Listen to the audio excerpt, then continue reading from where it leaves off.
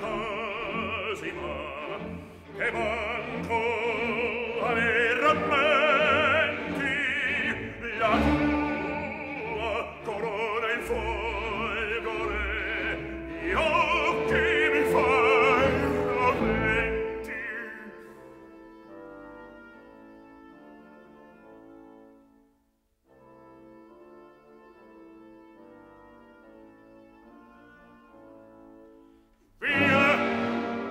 spaventosa immagine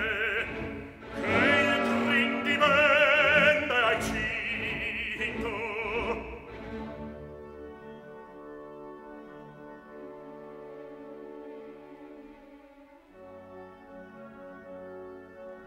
ed altri ancor ne sorgono. Un terzo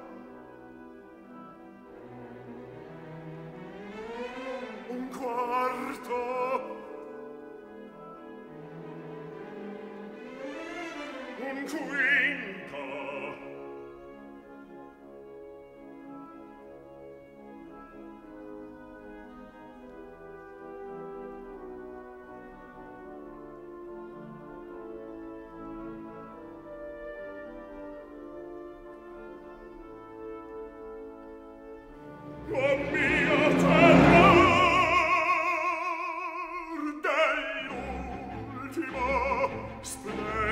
lo specchio in mano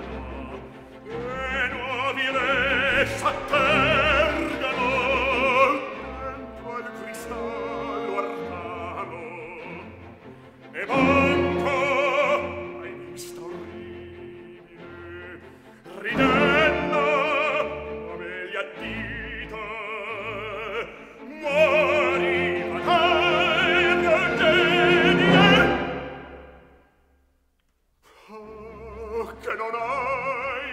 vita mai vista mai vista ah, te non hai dorita non hai vita non hai non hai dorita hai vista hai vista orribile